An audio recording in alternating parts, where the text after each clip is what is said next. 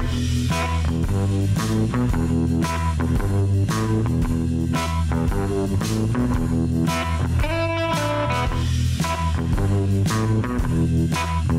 everyone. Welcome to the Cardiac Wire Show. My name is Jake Fishman. I'm the host of the show and the editor of the Cardiac Wire, and we have a great episode for you all today.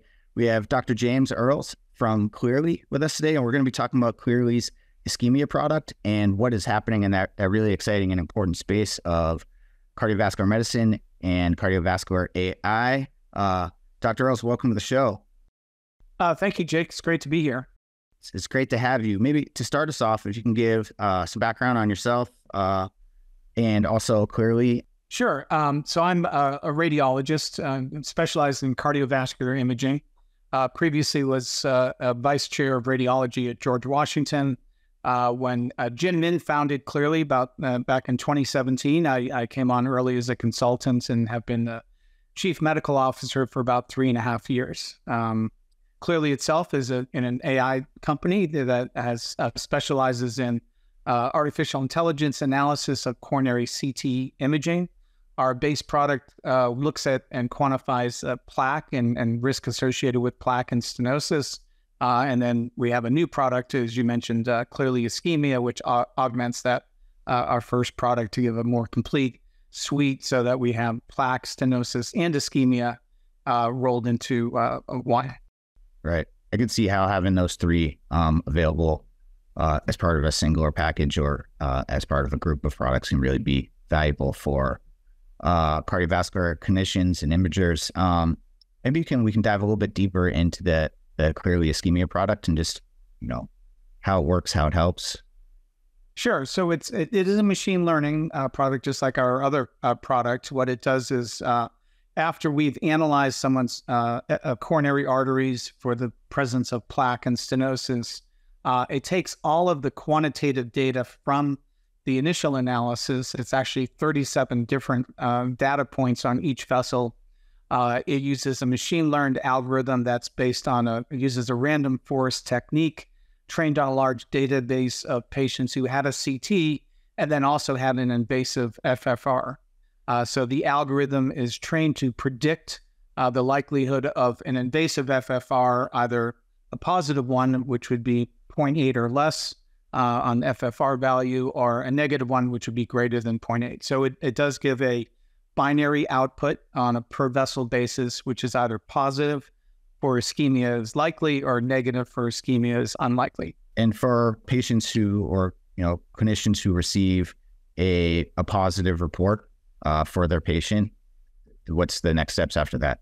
Yeah, so you know we try to uh, make it simple so that people who weren't necessarily specifically trained in it would understand what to do right away, right? So the the guidelines for use of uh, of ischemia testing in CT, uh, the ACC AHA chest pain guidelines have a cut point at, at 0.8. They say, you know, if the patient's uh, FFR CT is greater than 0.8, then they should go to medical management. Uh, if it's less than 0.8, they should go to intervention. So, um, you know, if physicians who have a, a, a, positive study should consider, you know, uh, referring to interventional cardiology for intervention. Uh, patients who are negative typically can still just be medically managed. So it it sort of lines up with the guidelines in that binary methodology of medical management versus um, uh, intervention. Right, and I could see how you know the payers might be uh, you know, really interested in fewer wasteful, um, uh, invasive uh, procedures. What and I, and I, understand that in cardiovascular AI, we're we're seeing more uh, reimbursements than maybe other parts of AI. Um, for this ischemia product, what's the the reimbursement environment for it? Yeah, actually, it's very good. So the uh, there was a level three CPT code that had been out there for several years uh, for the use uh, of FFRCT. And so that code uh, this year was elevated to a level one code. Uh, and the code language was specifically changed to include uh, other vendors of FFRCT, which now it would include us.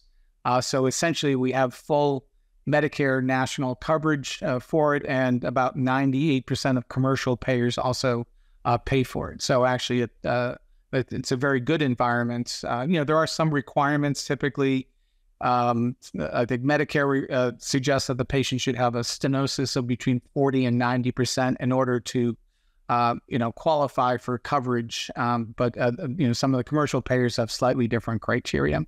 Right. Have you seen, um, you know, with the reimbursements that have happened in the past, maybe with, you know, other products that it Cleerly has, um, what what's the i guess the uptake and how does that change as um as a, a product gains cpt one uh, uh, reimbursements?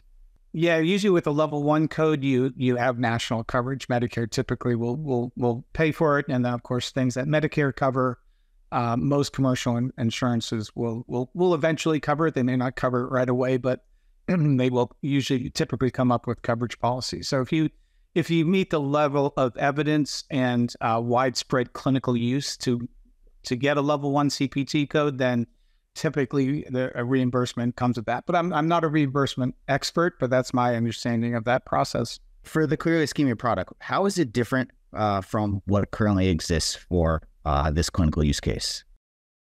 Well, currently there's a number of non-invasive uh, uh stress testing methods. You know, uh, stress nuclear uh, stress echocardiography, exercise treadmill, uh, PET imaging, as well as MRI. So it's a fairly, fairly large space, is over 10 million tests that are done a year.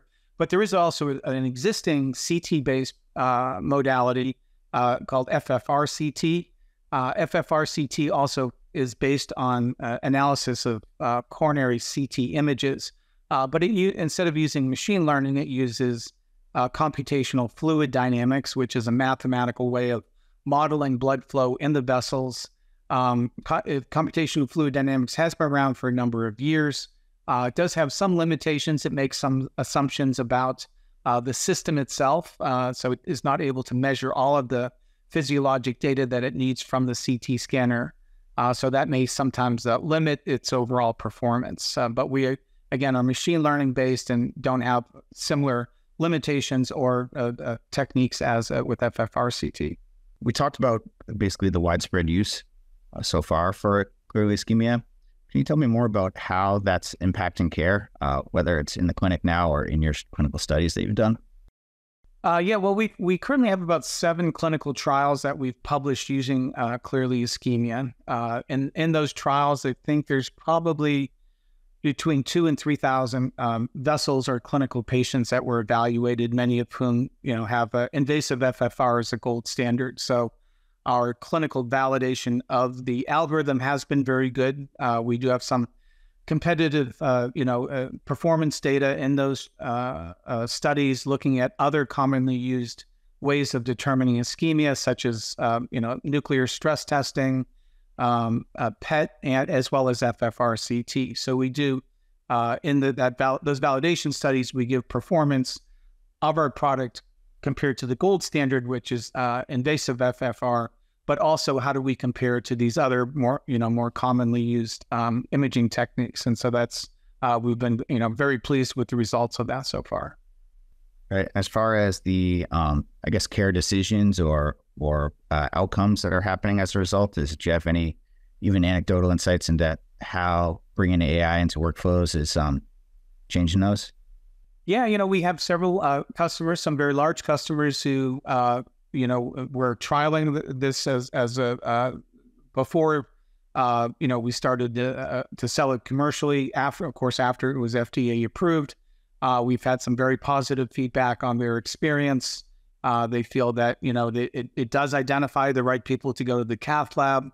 Uh, they don't have um, perhaps many as uh, as many false positives as they have had in the past using other techniques. Uh, so we've had uh, fairly good adoption of our you know current of our prior our current clinical customers, and now of course we have a lot a number of new people who are interested you know, a lot of it is also driven by the reimbursement piece. You know, when you have a, a technique which is pretty much fully reimbursed, uh, a lot more hospitals and uh, are and imaging centers are interested in talking about it. Uh, something uh, that has uh, incomplete or, or, you know developing reimbursement uh, is sometimes a more difficult conversations for places to have. With this, you know, mounting evidence plus the, um, I guess, the, the financial incentives to to bring uh, ischemia AI or even other types of cardiovascular AI into um, into the clinic, there's probably a you know a growing list of of clinicians and groups who are are looking to do this for the first time or maybe just for the second time and they had some niche application uh, running before this. Do you have, based on the best practices that you've seen and the most successful clients you have, do you have any, you know, advice for folks who are just getting started with cardiovascular AI? Yeah, you know, I, I think um, it, it is a little bit of a shift of paradigm. I mean, some sometimes there's a little bit of fear there, and you know, with some clinicians are are very eager and they want to be early adopters and really fully embrace it. Other people step back a little bit, sort of want to see other people adopt it and see how they handle it. And then there's other people who really just want nothing to do with it and they want life to go on as it as it always has. So you know, uh, physicians go across the the full spectrum of it. Um, I think the fear is is something that uh, we can sort of dispel with. You know, all these uh, AI algorithms to get approved by the FDA, they have to be efficacious and proven and safe, you know, for our patients. Um, you know, some physicians fear somehow they're going to be replaced by AI, which is also something that, uh, you know, in at least our discussions with the FDA, they make it pretty clear that, you know, there's always going to be a physician in the loop. They don't want raw AI data, you know, getting to another referring physician without a, a, an expert looking at uh, you know, the results and, and uh, you know, concurring or, you know, disagreeing with the results beforehand. And, you know, ultimately, I think what the effect is on us as physicians, either as radiologists or cardiologists, is it makes us um, more efficient uh, and it makes us better. You know, it, it, really does improve outcomes and, and, and improve the efficacy of what we're doing. Um, and sometimes it actually saves us, you know, work too. So we can be both better and faster. So it really, I think there's not anything to be afraid of. Uh, I think it's something that is going to make medicine as a whole uh, better, and ultimately, it's going to serve our patients better than we've done before. Better and faster seems like a uh, value proposition that that a lot of uh, radiologists and cardiologists should be able to get behind, especially if it comes to the reimbursement. Well, absolutely. If it, you know, we um, for our plaque product, you know, which is a little different than the ischemia product. a couple of years ago, we would talk to customers, and they would be doing you know, two or three or four cardiac CTs a day. Um, but, you know, suddenly now, uh, after the 2021 chest pain guidelines came out that elevated cardiac CT to a level one uh, classification, a recommendation for both acute and uh, stable chest pain patients who are low to intermediate risk, uh, the number of CTs has really uh, gone up now annually, year after year. Uh, so customers that were previously maybe not doing it at all or we're doing a handful of cases. Now we're talking to sites that are doing 10, 20. We even talked to a site recently that was doing 80 cardiac CTs a day. So suddenly they have this workflow issue with, you know, to do with a cardiac CT, um, you either have to have a 3D lab or technologist and or physician who interacts with the data, and it can be a little bit laborious, uh, can, and it can certainly take longer than other types of imaging tests to read. So uh, you know, us bringing some workflow efficiencies to them has really been uh, embraced this year. We hear it a lot. We hear people, they're almost more interested in the workflow efficiency than the additional data that we also give them about plaque volumes, et cetera. So, but, it, uh, you know, once people are used to using it, it certainly does, um, you know, add that efficiency. And of course, uh, you know, helps them to actually read the studies a little bit uh, better, maybe less uh, in the reader variability uh, and then also give uh, additional data that they really hadn't been giving before, which is the amount of plaque that's present, which can then be helpful in determining medical therapy for the patient. So, you know, the adoption process has been interesting, but this year we've really, I think that uh, the, the, efficiency uh, and throughput has really been something that we keep hearing consistently from our customers. Right. And, you know, understand that you started uh, at least with Cleerly back in 2017, you've had a, a, front row seat for this whole revolution going on.